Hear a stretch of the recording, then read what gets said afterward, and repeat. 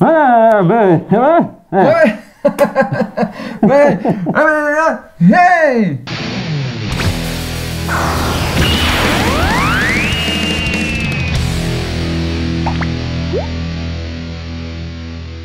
Comme je le disais en début d'émission, mais je me répète, je suis désolé, un grand merci à CAD et à Comic Zone de nous aider à produire Culture Z. D'ailleurs, c'est CAD qui nous a emmenés vers toi. Tout à fait.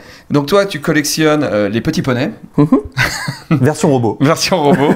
voilà. Donc aujourd'hui, on va parler de Sentai, de Kamen Rider Mhm. et de Power Ranger. C'est bien ça. En gros, oui, on sait, il y a d'autres gens euh, sur d'autres chaînes euh, qui en ont parlé, mais ça ne nous empêche pas euh, d'en parler nous aussi. Comment ça commence l'histoire des Sentai et de Sentai, des Metal Soldier même, j'ai envie de dire quelque part. Il y a plein de, Il y a plein de genres. de courants. Il y a Ouais. plein de genres, effectivement, il y a plein de courants. Moi, j'aime bien prendre une image, généralement, c'est qu'à la base, il y a le tokusatsu. Le tokusatsu, c'est le papa et la maman du- des différents genres que tu vas connaître. Tokusatsu, c'est un kanji, ça veut dire effets spéciaux. C'est toute série avec des effets spéciaux. Et le tokusatsu, ça a donné naissance à des genres qu'on connaît plutôt bien. Il y a eu le kaiju Ega, Godzilla, Godzilla, ouais. il y a eu Ultraman, qu'on Ouais. peut voir récemment euh, sur Netflix, et il y a un manga d'ailleurs qui est ressorti. Les deux sont de très bonne qualité, je vous les conseille. Il y a eu les Metal Hero qu'on a connus en France avec Xor, Bien sûr. euh, Uchukeiji Gaban. Il y a eu Charivan derrière, Xor 02 en France, et après Shider qui a été un peu plus euh, méconnu. 03, le bleu. Voilà, exactement. Après, il y a eu aussi euh, d'autres Metal Hero avec les Rescue Heroes, etc., etc. Et il y a donc deux autres genres, dont un qui va beaucoup nous intéresser. Ce sont les Super Sentai et les Kamen Rider, ces guerriers en forme d'insectes, euh, voire de sauterelles. Et ça date de quelle époque la création de tout ça? Alors, à la base, on va dire que le, le- le tokusatsu, on est sur les années euh, 50-60, mais après, ce genre-là, c'est euh, en 1970. Et si on s'intéresse plus précisément au genre pour lequel tu es là aujourd'hui, le Super Sentai, c'est né en 1975, mais pas réellement. C'est pas vraiment des Super Sentai en 1975, il y a quelque chose d'un peu particulier. C'est-à-dire que le Super Sentai, si on doit lui donner une définition, déjà Sentai ça veut dire escadron. Donc c'est un super escadron composé de plusieurs personnes. Et en 1975, il y a une série qui a fait exploser les- l'audimat euh, au Japon. Ils n'avaient jamais vu ça au Japon. C'était Go Ranger. Voilà, Go Ranger, c'est euh, c'est une série qui arrive, euh, il y a des couleurs de partout, euh, il y a un escadron, il y a un certain nombre de personnages, 5, et ça explose, ça dure deux saisons, 84 épisodes, la vente de produits dérivés explose, etc. etc. Après, il y a une autre série qui arrive, Jaka, où ils ont tous une carte à jouer sur, euh, sur le casque. Mais là, c'est une catastrophe, ça marche pas du tout. Bah, déjà parce qu'ils sont 4. Et 4, c'est un chiffre qui porte malheur au Japon. C'est un peu bête, on va dire, de faire une série où toi-même tu connais tes codes et tu, tu l'inclus volontairement, ça va pas marcher. Ils vont introduire Big One, qui est le cinquième, le nouveau chef, mais ce sera trop tard, la série va s'arrêter. Et dans le même temps, Kamen Rider, eux, vont exploser, vont prendre, vont prendre la suite. Et il y a une autre série qui arrive qui s'appelle Battle Fever J, Battle Fever Japan, qui va être composée du bon nombre de personnes, donc 5 personnes. Il va y avoir Battle Japan, Miss America, il va y avoir un français même. Et là, euh, ça va fonctionner tout de suite parce qu'il va y avoir quelque chose de très spécial, c'est qu'il va y avoir l'apparition du premier mecha. Voilà. Le Battle Fever robot. Et là, c'est ça le genre Super Sentai. C'est-à-dire qu'il te faut soit 3, soit 5 personnes. Bon, ça, après, ça peut être complété par des suiveurs, on va dire, par, des, par des renforts. Mais il faut obligatoirement un mecha. Et c'est ça qui définit le genre Super Sentai. Et tu l'as, le premier mecha? Tout à fait. Tu peux le voir ici, donc dans sa version d'origine, Ouais. avec son vaisseau. Et euh, bah, comme tu peux le voir, bah, malgré le fait que ça s'appelle Battle Fever, bah, c'est Japan. Et lui, il a, il a une forme de, de De- shogun. Ouais, donc c'est le Japon qui gagne forcément. C'est forcément le Japon qui est Là, le leader. tu as euh, tous les, ran- les rangers, j'allais dire, je suis un connard. Mm. Euh, tous, tous les, euh, tous les rouges, on va dire, comment ils s'appellent euh, entre eux C'est quoi euh, Il y a Alors- un nom précis ou Alors pas oui, ils ont tous un nom bien précis. Alors, ils s'appellent pas que Red, Ouais. ils s'appellent pas que Blue ou Yellow, ils vont tous avoir un nom. Par exemple, sur une des séries les plus récentes, sur Gokaiger, qui est l'escadron des pirates, dont on peut voir Ouais. le mecha qui est ici, le leader s'appelle Gokai Red. Généralement, c'est la contraction du début de la série et on finit par, euh, par sa couleur. Et c'est toujours le rouge qui est le chef? Sauf à- sur une série. Il y a une série où ça a été non officiel, mais tu le vois dans le cheminement de la série, c'est dans Kakurenja. C'est Ouais. une série sur les ninjas dont on peut voir euh, le mecha qui est, euh, qui est ici. C'est la blanche, bon rose en, en américain, qui elle est la vraie leader euh, de l'équipe. Ça a été la seule fois, mais sinon c'est le rouge toujours, toujours, dans, toujours. dans RPM, euh, j'ai l'impression que c'est Black qui, qui gère. C'est celui qui a le plus de caractère. Chaque, chaque personnage, alors dans la version américaine c'est un peu différent de la version japonaise, il y a un trait de caractère qui va te définir en tant que leader. Généralement le rouge c'est quelqu'un qui est très fort, qui est très sûr de lui, mais paradoxalement qui va connaître quelques faiblesses et qui va avoir un lourd passif. Derrière, il va porter un secret que tu vas apprendre au twist de mi-saison et qui va généralement accompagner l'arrivée du sixième ranger euh, dans, dans la Son père, c'est le méchant. C'est un peu ça parfois, c'est un peu ça, ou son père et sa mère. Bon, alors, ok, on a fait le tour. Euh, là, tu peux me montrer cette Bien boîte sûr. C'est assez fou. Alors ça, c'est la boîte des 30 ans que j'avais ramené du Japon, donc qui reprend les 30 Super Sentai allant euh, de euh, 1975 avec, euh, avec Go Ranger à donc, euh, les, les dernières années avec, euh, avec Gokaiger. Il y a une chose qui, qui me choque, euh, enfin, quand on peut voir tout ça, c'est qu'on a un costume par année Ouais. et un personnage différent par année. Ça veut dire que ça n'existe pas euh, la suite des séries au Japon? On va prendre des cas bien précis. Ah, moi, je suis, euh, je suis Gokai Red et Ouais. toi, tu es Gohan Red Ouais. de, de Go Ranger. En fait, au Japon, chaque série est une série, ce n'est pas une saison.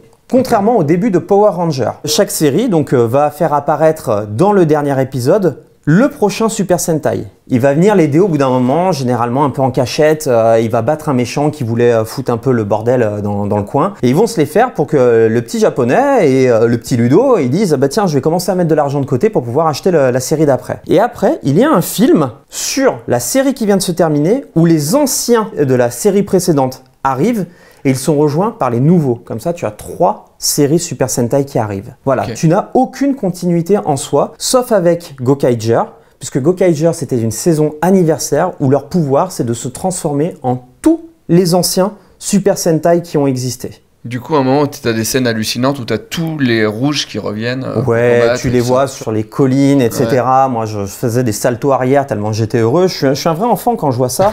et comme je te disais, contrairement aux Power Rangers, qui pendant un bon nombre de saisons ont commencé, pour une raison bien particulière, à faire des saisons et non pas des séries. C'est-à-dire que tu as eu Mighty Morphin Power Rangers, la Oui. fameuse série qu'on Avec connaît. les dinos, ouais. Voilà, ici avec les dinos, qui correspond à Zyu Ranger au Japon. Donc ça, ça a été la première saison. Il y a eu une deuxième saison. Il y a eu une troisième saison avec eux, qui sont par contre l'adaptation de Die Ranger, qui a absolument rien à voir au, Japon. Ils ont repris tous les costumes et les mechas, mais hop, hop, hop, hop, ça n'a plus rien à voir. Et après, ils ont continué avec Power Ranger dans l'espace, jusqu'à ce qu'ils se disent non, ça devient trop le bordel à fusionner tout ça. Maintenant, on va faire des séries indépendantes à chaque fois. D'accord. Euh, bon, on explique un petit peu rapidement parce que bon, euh, des gens l'ont déjà dit, mais nous on va le redire. Power Ranger et le Sentai, euh, c'est la même chose, mais racheté par Saban. En gros, c'est pas la même chose, mais c'est pareil, mais c'est pas pareil. Explique. Eh ben, C'était tout à fait clair, mon cher Davy. Eh ben oui, oui, carrément. En fait, au bout d'un moment, Saban, euh, il est allé au Japon. On va faire très court. Il est allé au Japon, il allume sa télé, il voit des séries, il dit waouh, c'est génial, ça, il me le faut. La première série qu'il va vouloir adapter, c'est Bioman.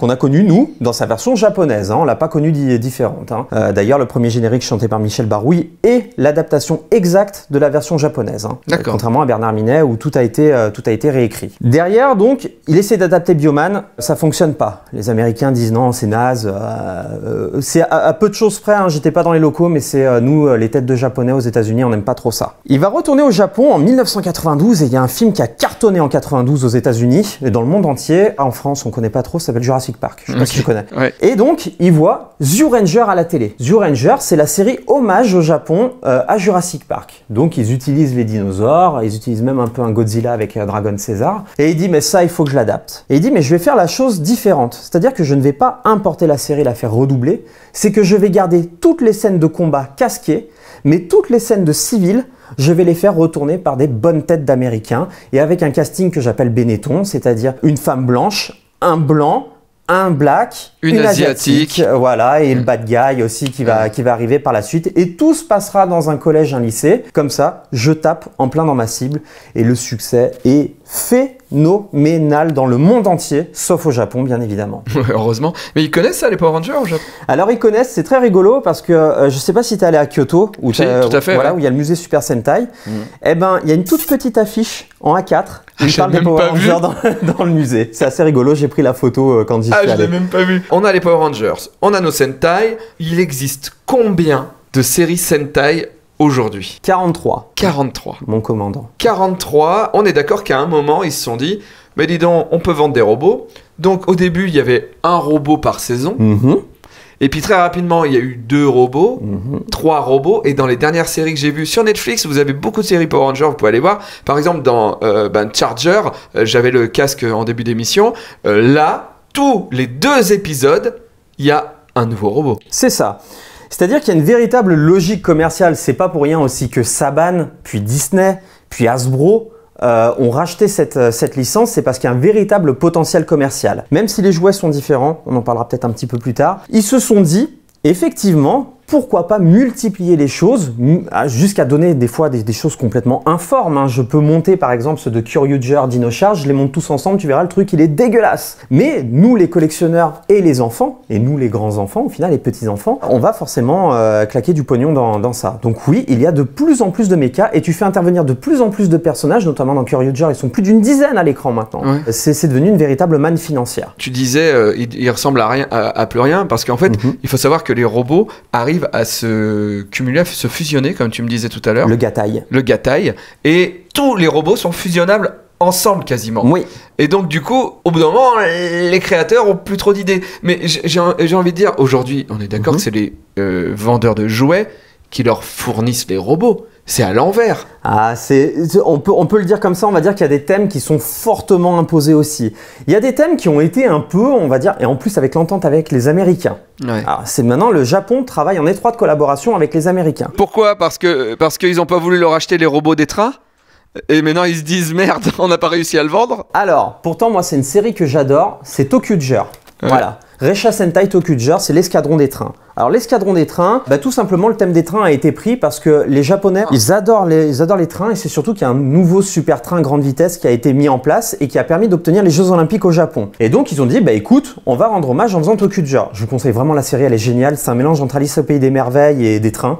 Donc moi, c'est euh, le, le kiff total quoi. Euh, Donc là, les Américains ont fait non, on veut pas de train, ça va jamais se vendre. euh, donc du coup, ils l'ont pas vendu. bien sûr les, les, les Il n'y a pas de Américains. Power Ranger train. Voilà, les, les Américains, pour eux, le, le train, déjà, c'est des vieilles diesels, ils n'ont pas forcément de train à grande vitesse, ça leur parlera pas, Ouais. sans déconner, même s'ils se murmurent qu'Asbro, qui a la licence maintenant, voudrait l'adapter de façon différente. On verra bien ce que ça, Ça peut va être donner. compliqué, mais Ça, ça va, ça va être compliqué. Et après, donc, euh, nous avons euh, Q-Ranger, donc, Ouais. euh, qui est l'escadron céleste, hein, on va dire l'escadron de l'espace, et qui, alors lui, les Américains, du coup, ont eu une pleine implication dans la série, avec les Japonais. Et ils ont dit quoi? Ils ont dit, bon, vos trains, là, c'est bien sympa, vous êtes fait plaisir, là, dans votre petit pays, mais maintenant, faut penser grand, faut penser Trump, et on va penser, donc, merchandising. Et on va lui mettre plein de petites boules qui brillent de partout, ça, ce sera pas des mechas à collectionner, mais des boules, voilà, hein, des boules célestes, hein, il n'y a rien d'autre, hein, c'est juste des boules, hein, c'est, Ok. et, et qui brillent. Mais par contre, c'est gros, c'est fat, regarde, il est, il est costaud, il représente pas ton petit maigrichon qui est là. C'est vrai qu'il est chouette. Ah, moi, je l'aime pas. Mais c'est pour ça que j'ai que lui. Pourtant, il y, en- y a- D'accord. il y en a beaucoup plus, mais, Ah oui mais j'ai que lui. Et la série est très très mauvaise à mon humble avis. Je suis désolé pour les fans qui vont se déchaîner dans tes commentaires. Plus il y a de commentaires, plus on monte dans les tendances sur YouTube. Donc euh, allez-y. Hein, euh. C'est la, plus mauvaise série de Sentai au monde. Alors, euh, De l'univers. De l'univers. Mais alors, du coup, t'as acheté ça. T'as acheté juste les boules? Alors, dans la boîte de base, tu as ça avec les boules. Et après, tu achètes plein de petites boules. Des Kyutama, ça s'appelle qui rendent, Kyutama. qui rendent des, des trucs puissants différents à ton Voilà, ça donne un pouvoir en plus. Alors tu as la comète de Pégase, tu as euh, la petite ours, la grande ours, euh, Ah, le lyonnais. euh, c'est Senseiya mais version euh, porn. C'est, il y a vraiment, c'est du porn merchandising, vraiment. Pour moi, je me dis, si les Américains, Mhm. ils achètent au Japon Mhm. les images Ouais. et qui retrafiquent juste un peu pour vendre aux États-Unis Mhm. et dans le monde, les jouets, ils achètent, ils achètent aux Japonais et ils revendent les jouets tels quels. Alors c'était le cas au début, Davy.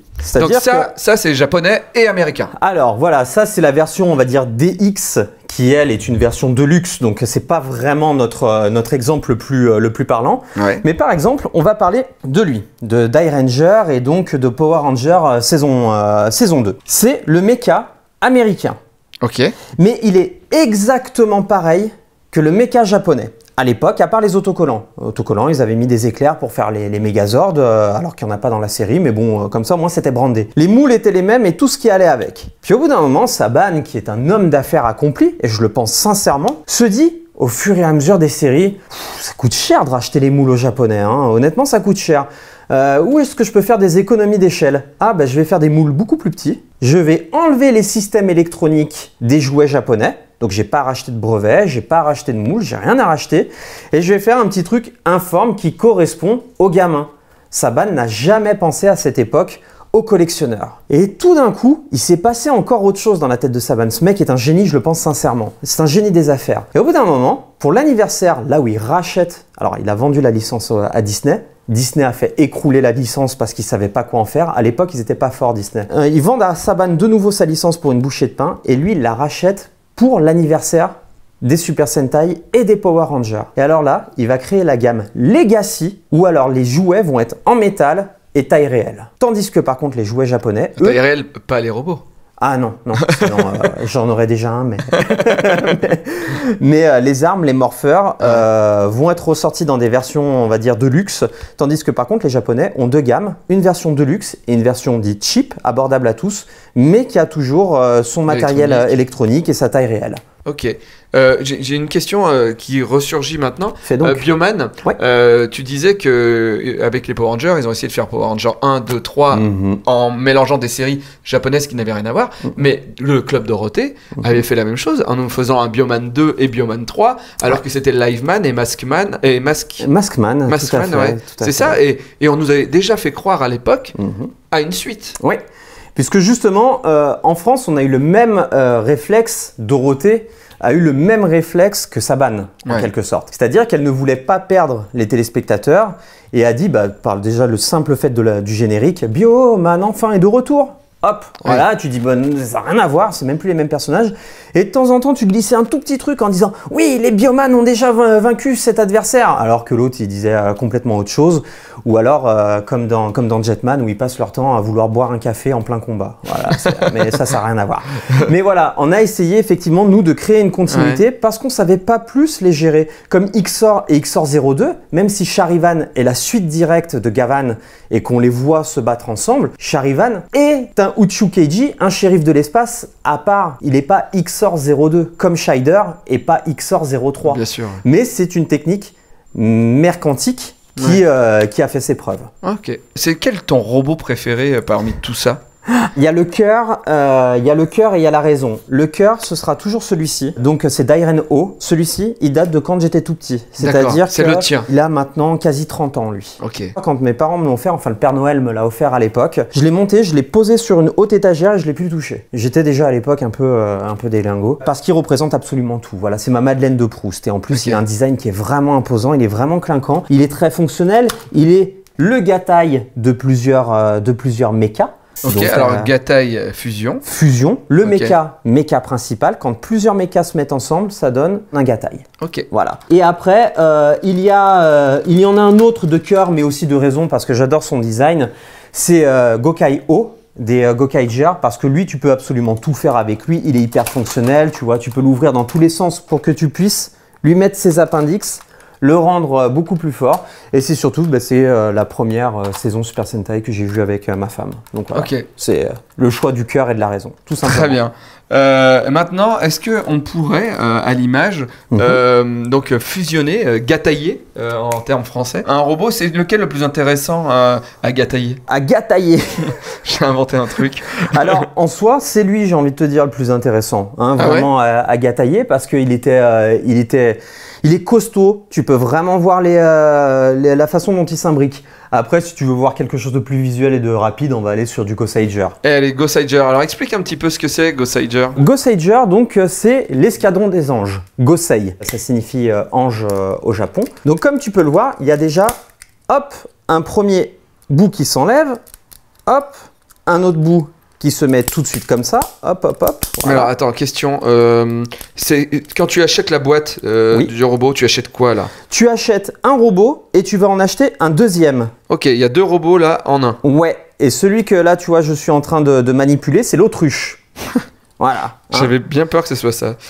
un robot autruche. Donc là, tu as aussi un autre, euh, un autre visage pour. Euh, alors là, tu vois, tu as un canon, tu peux utiliser un canon et tout ce qui va, et tout ce qui va avec. Hein. donc, euh, donc voilà. Tu vas remonter ici, hop, la borne. Normalement, ici, dans ce petit tupperware, parce que lui, c'est une, une, borne d'arcade, comme tu peux le voir.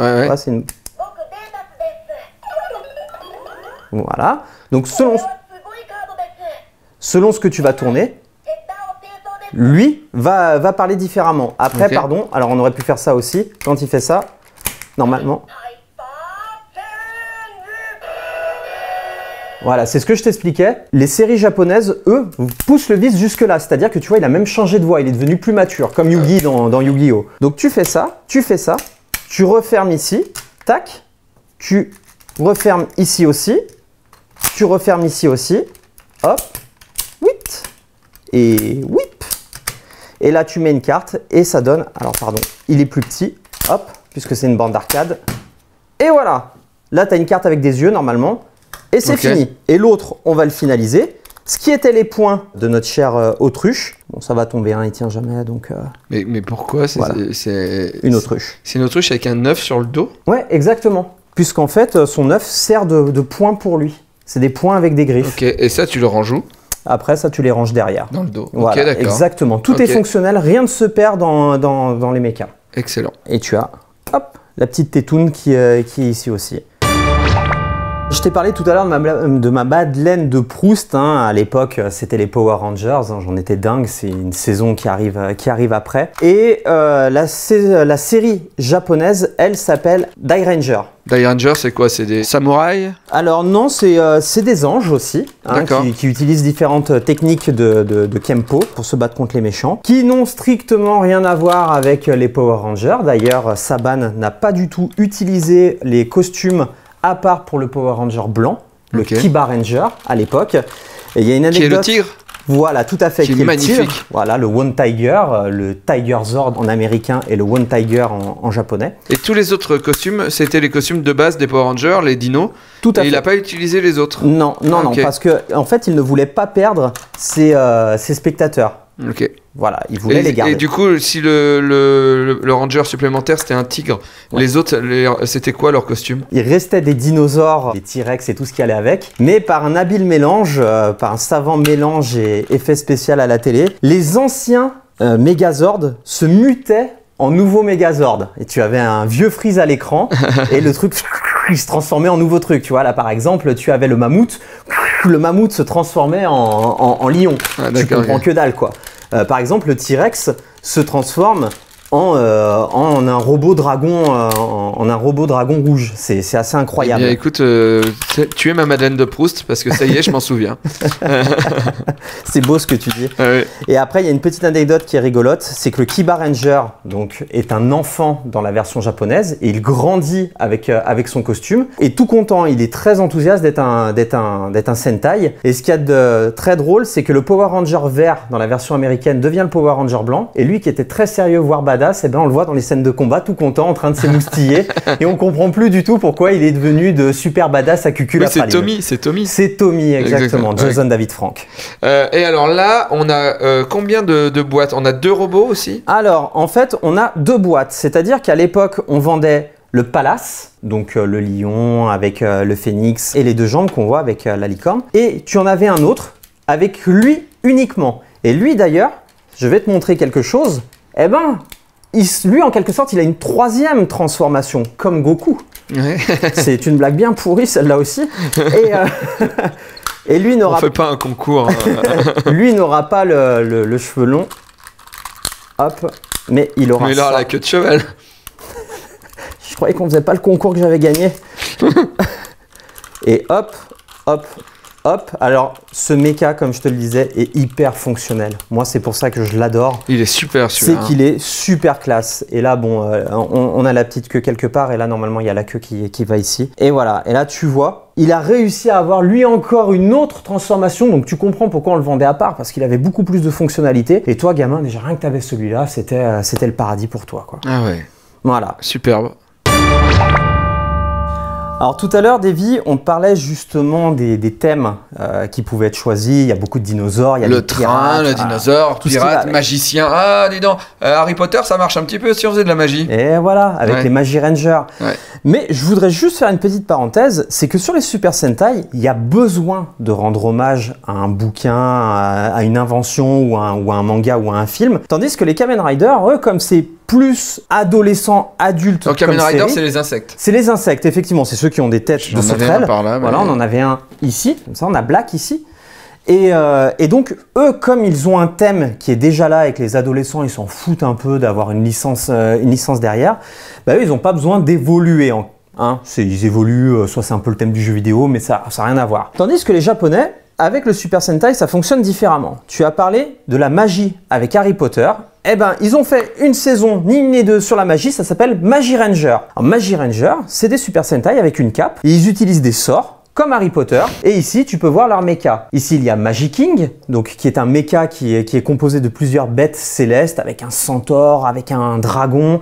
Il y a aussi Sennheiser, euh, qui, est une, qui est une licorne. Tu as Wolf Kaiser, qui est un centaure, mais lui qui est maléfique, puis gentil euh, par la suite. Nous avons Gokaiger, qui est un hommage à One Piece, puisque c'est les pirates. Ouais. Je t'ai parlé tout à l'heure de Jurassic Park avec euh, Zuranger. Et par contre, il y a deux thèmes qui sont vraiment récurrents dans le Super Sentai parce qu'on sait que c'est ce qui fait vendre le plus. C'est les dinosaures, parce que les dinosaures c'est trop cool et tout le monde aime ça. Et tu as aussi les engins. Alors engins de chantier ou voitures ou trains. Comme tu le disais, les japonais, les petits japonais mais les grands japonais aussi, sont fans d'engins. Tu en trouves de partout dans les magasins, des petites voitures à si euro. je dis une- pas une bêtise, le- le- les premiers Power Rangers qui n'étaient plus des Power Rangers, c'était euh, Car, euh, Car, Car- Car Ranger, tout à fait. Power Ranger Turbo. Ouais. Ouais, lui, Le héros était black. Tout à fait. Ça aussi, c'était un- une nouveauté. euh, Une nouveauté euh, que, que Saban justement a fait évoluer. D'ailleurs, dans, dans le- dans- avec Hasbro, la licence actuelle c'est Go Busters qu'ils ont adapté en Beast Morpher. Eh ben, les héros, euh, c'est un black, un portoricain et une américaine. Une américaine de base. Voilà, de, de base. avec des dents blanches. Parce qu'il en faut quand même une. Et alors, dans, dans les licences cheloues, Alors, on va pas reparler des trains parce que c'est pas si chelou que ça et j'adore ça et je vais finir par me vexer. oui. C'est, il y a une saison qui a rendu hommage à Minecraft. Ouais. Voilà, c'est comme ça, c'est Minecraft. C'est Zyuoger. Pourtant, c'est des animaux à la base. hein. Il n'y a pas de, y a pas de plus de plus de cubes que ça. Et là, regarde, je vais en prendre un. Je vais prendre un appendix, Ouais. un petit méca qui peut se greffer aux autres. Comme tu peux le voir, lui, c'est un Euh, un, un- un canard. presque un platypus, Ah, un ornithorynque. Ah, voilà, chère Maryse. Et quand on le remonte, hop, Il devient un cube. il devient un cube. Voilà. Alors il y a plein d'exemples comme ça. Je vais te prendre aussi le Kuma, qui, est, euh, qui est l'ours. Le Kuma, donc, euh, qui est un ours et qui sert de canon euh, au méca principal. Hop, tu vois, tu as juste à le replier. T'es Ok. comme ça. Mais ça, ça coûte rien au Japon. Ça coûte 4 euros, l'équivalent de 4 euros.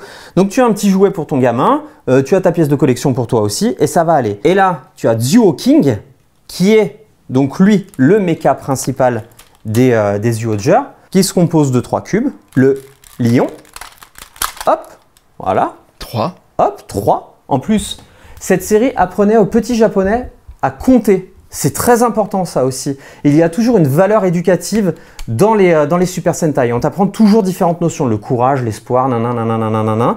Et puis au final, voilà, donc tu l'as tu l'as transformé. Il est trop beau. Et hop, ça, ça, ça enlève. Lui, hop, on a le cube Thermométro Ranger. Shark. 37,5. Ouais. À 41, on les a tous tués. voilà, donc là tu as le requin, comme tu peux le voir. Ah oui, bah oui. C'est oui. le requin. Attends, j'essaye. Hop, et là, Ah, ah j'ai fait un truc. Ah non, j'ai pas fait un truc. moi, entre temps, hop, voilà, je vais remonter. Autant le lion, j'ai réussi direct. Autant, autant le requin, je suis pas. Ah non, mais là, j'ai fait un pistolet là. Ouais, ça fait un requin. Regarde. pas un requin. Bien sûr, regarde. Hop, regarde. Là, tu as le. Aileron. Tu as l'aileron. Ici, tu as la queue. Ah, Et sur les côtés, je Et voilà, ça y est. Et c'est ça qui est important euh, aussi dans, dans chaque, euh, dans chaque série Super Sentai, c'est de faire un concept qu'un enfant de 4-5 ans va pouvoir transformer lui-même, jusqu'à un adulte. J'y arrivais pas. si tu, si tu n'as pas de notice, tu peux y arriver. Et ici, donc, tu as l'aigle, le Dew Eagle. Et voilà. C'est trop bien. Et en quelque sorte, on les met ensemble et ça donne le méca principal. Et eux, ils viennent où? Alors eux, c'est des canons, canons, généralement. Voilà, tu le mets comme ça et ça devient. Est-ce qu'on pourrait parler d'une série que tu m'as fait découvrir lorsque je suis arrivé ici ce matin, qui est euh, la série non officielle, officielle, euh, geek Enfin, Ouais, bien otak. sûr. C'est quoi le nom C'est Ikonin Sentai Akibarenja. Donc euh, c'est tout simplement. T'as des robots là? Alors je n'ai pas de robot parce que il coûte très très cher, mais par contre, des armes je vais demander à euh, notre assistante, à Maryse, s'il te plaît Maryse, les Ranger Keys et les armes. Tadam Nous avons le logo déjà ici. Alors, Ikonin Sentai Akiba signifie littéralement les euh, Super Sentai non officiels Akiba Ranger. Donc c'est les Sentai de Akihabara. Un jour, il y a un otak qui s'appelle Akiba Red. On peut voir sa Ranger Key ici. Akiba Red. Donc lui, il y a une organisation spéciale qui va lui proposer de lutter contre, contre les forces du mal avec Akiba Yellow et Akiba Blue. Alors lui, il va dire non mais attendez, euh, euh, c'est des âneries votre truc. Euh, je sais que les Super Sentai ça n'existe pas. Et là, il lui donne une arme qui va lui permettre de, euh, se, de transformer. Donc ça va lui permettre de se transformer et de devenir en quelque sorte l'otak ultime. Voilà, la Moya Moya Z-Kyun, comme vous pouvez le voir. C'est une meuf sexy. C'est une meuf sexy, tout à fait. En fait, c'est l'héroïne que notre héros aime le plus en manga. Et comme Wingman, il arrive à transcrire tous ses rêves en réalité, il va pouvoir la transformer en arme et donc devenir euh, son objet euh, de prédilection. Et il y a quelque chose de très rigolo dans ce Sentai non officiel, c'est qu'il est tout à fait officiel. C'est un truc de la Toei. C'est que la Toei a dit tiens ça pourrait être cool de faire ça. D'ailleurs il y a eu deux saisons. Rares sont les séries qui ont deux saisons puisqu'il y en a qu'une seule, c'est Go Ranger. Et il va y avoir en fait deux saisons. Et euh, la deuxième va être un peu plus sexe Notamment la méchante est une ancienne actrice porno, donc ça, ça aide beaucoup. Elle est toute en cuir, en string. Euh, les méchants sont très sexualisés aussi. euh. et dans la deuxième saison, il y a énormément d'anciens Super Sentai et d'anciens cascadeurs de séries Super Sentai qui vont venir les aider. Donc il va pas être rare de voir les Die Rangers apparaître. Ils vont parodier d'ailleurs Vu que c'est des geeks, c'est normal. Exactement. Ok. Et Exactement. là, là-bas, on a quoi? Et donc là, nous avons Machina. Donc Machina qui est la méchante avec son arme, qui est la méchante d'Akiba Ranger. Et je sais pas si on peut faire un, gros plan sur elle, mais bon, elle est toute de cuir vêtue. Elle est très sadomaso. On la voit ici en barésille. Voilà, hein, c'est ce que je disais. euh, Mais alors, du coup, là, celui-là, il est pas pour les enfants, celui-là. C'est pour ça qu'ils disent qu'il est non officiel. il est, il n'est pas pour les enfants. Il a été interdit au moins de 16 ans lors de sa sortie euh, au Japon. et il n'a pas été, bien évidemment, mis aux mêmes heures. C'est-à-dire que l'heure des Super Sentai, généralement, c'est entre 7h et 9h, selon ce que tu décides euh, de faire. Lui, je crois qu'il passait vers 23h minuit sur TV Asahi. Ah oui. Donc là, on est sur les morpheurs. Exactement. Alors, morpheur, c'est aux États-Unis. Voilà, Morpher, c'est aux États-Unis, mais, Mais au euh, Japon, hein. c'est du changer. Euh, Changer. Tu, peux, euh, tu peux utiliser plusieurs termes. Parfois, il y en a même qui ont un nom. Ça, par En exemple. gros, c'est quand un un super-héros veut changer de slip, il utilise ça. Exactement. Voilà. Et lui, par exemple, s'appelle le Gokai Phone. Ok. Alors le Gokai Phone, c'est, tu vas comprendre pourquoi. Hop, là je viens de l'ouvrir et hop, tu vois que c'est un téléphone. Donc la spécialité des Gokaigers, comme je t'avais dit, c'est de pouvoir se transformer et d'utiliser des clés qui vont leur permettre de se transformer en ancien Super Sentai. Donc on va lui lever les bras et là nous on va se transformer en Gokai Pink, d'accord? Ouais. Donc j'insère, je tourne.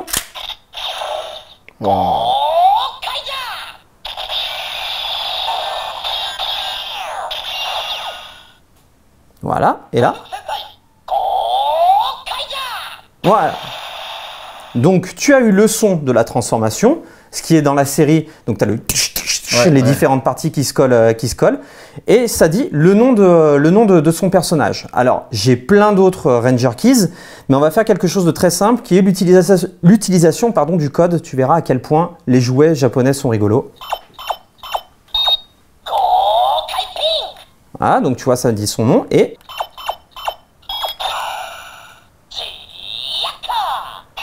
Voilà. Tu n'es pas obligé d'avoir la clé. Tu as juste à connaître, Le toi, code. en tant que fan, le numéro de la série. C'est Jaka. Par exemple, si je vais faire le 3, tu verras que ça va être Battle Fever. Et là, je vais me tromper.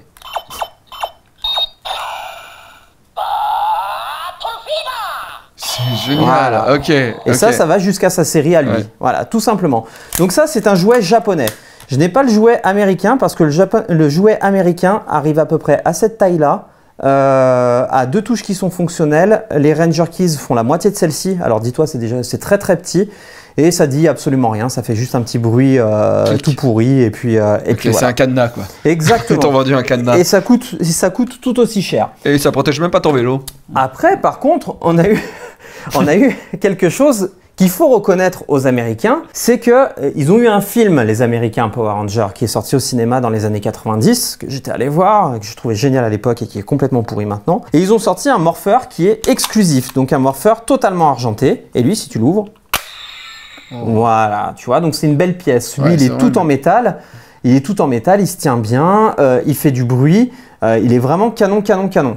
Et là, moi, j'ai la version japonaise. Si tu peux me tenir celui-ci, s'il te plaît, David, Bien sûr. pour qu'on regarde la différence. Ah, la musique de Zordon Le japonais est totalement identique. Il n'y a aucune différence entre les deux.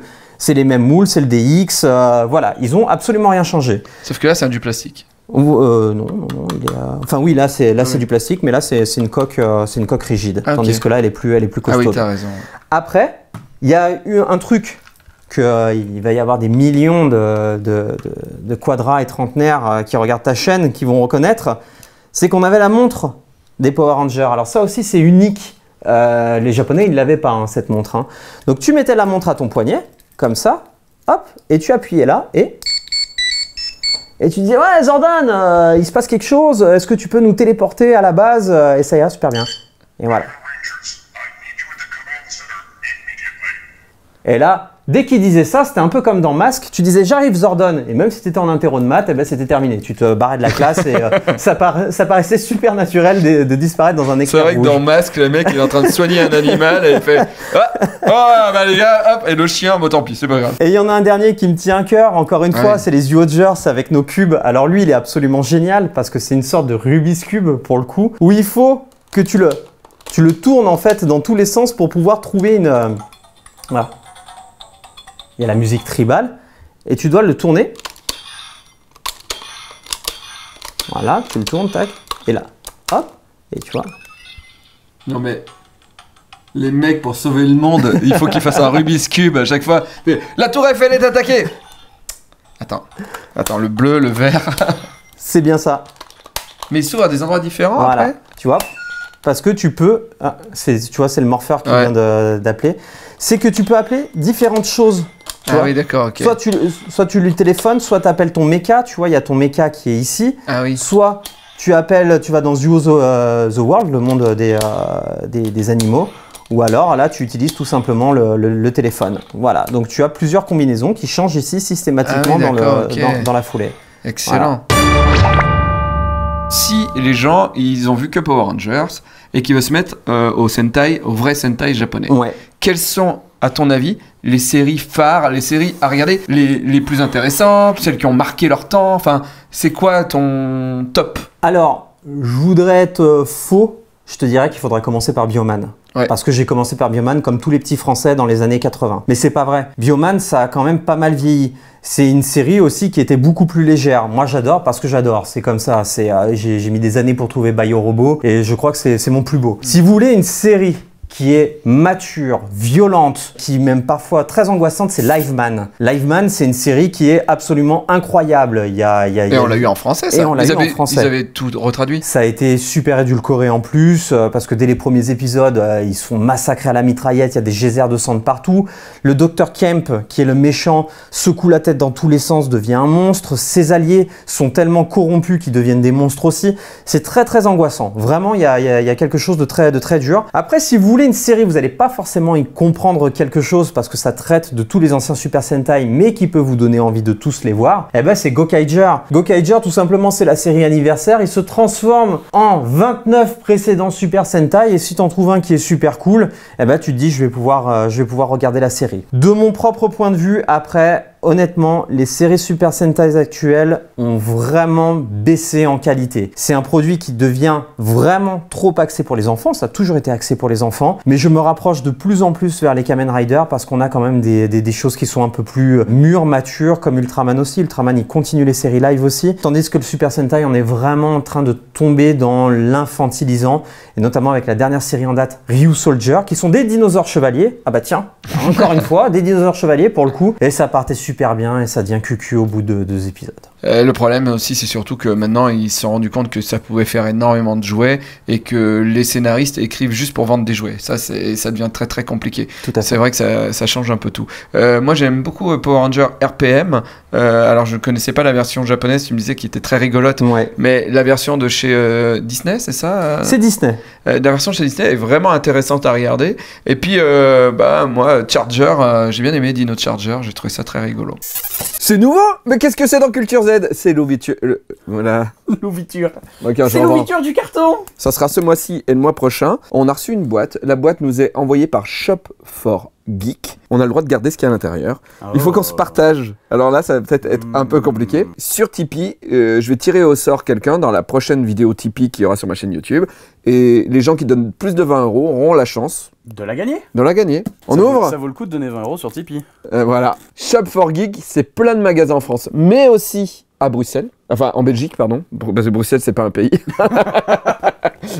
Euh, ils ont- il y a 29 magasins et il y a un site internet qui s'a- s'affiche ici, c'est shopforgeek.com et c'est plus de 15 000 articles geek Et Voilà. que vous pouvez avoir en 48 heures, en 72 heures en magasin. ben, Voilà. waouh. Oh Euh, Ça va être dur à partager, ça Il y a un Sangoku Ça, C'est impartageable. Sinon, tu prends les cheveux, quoi. vous pouvez gagner ce magnifique Sangoku si vous avez donné euh, en- à partir de 20 euros sur Tipeee. Et Bah. Thomas est triste, euh, Shop for Geek. Vous pouvez envoyer à la même adresse. merci, Shop for Geek. Dis merci. Merci Shop for Geek. Euh, bah écoute, euh, merci beaucoup. Euh, toi, on peut te retrouver en convention, en fait. Alors moi, on peut me retrouver en convention euh, en faisant des expositions ou des conférences, euh, ou alors même en, en tout simplement en renfort sur, euh, sur des conventions avec ma société Hero en stock et mon équipe, donc qui est la société partenaire avec qui je suis, Alice of Cheshire et Alexis Talon, l'illustrateur. Et n'hésitez surtout pas ben, à venir sur notre page internet, sur notre page Facebook, Hero en stock. Et Hero en un stock, et- plaisir. Et puis on saura où vous trouvez en convention. Et puis si vous avez une convention, on peut te demander de venir et de faire euh, des expos parce que tu ne fais pas que les euh, que les Sentai. Non, je fais aussi euh, euh, les dinosaures. Ah oui. Jurassic Park, je fais des expos Jurassic Park, je fais des expositions science-fiction et horreur. Freddy, Jason, Halloween, Alien, Predator, avec des costumes et des répliques taille réelle qu'on fait nous-mêmes pour, pour la plupart, et avec l'aide de mon épouse qui travaille dans ce milieu aussi. Et Et- Transformers. Et des Transformers, et, et, et, et, en fait, je fais tout ce qu'on peut me demander. voilà. Très bien. Euh, on va pas poser plus de questions euh, après cette phrase. Euh, merci beaucoup, Ludo. Euh, un grand merci à Comic Zone euh, qui nous aide à, à produire cette émission. Merci à vous euh, sur Tipeee qui nous, j'allais dire Tinder, pas du tout, sur Tipeee qui nous aidait à produire cette émission et Utip aussi. Et puis vous qui regardez, mettez-nous euh, dans les tendances, ça nous ferait super plaisir. Merci beaucoup à Thomas qui en chie avec la caméra. Euh, voilà, merci à tous, à très bientôt et au mois prochain. Ciao.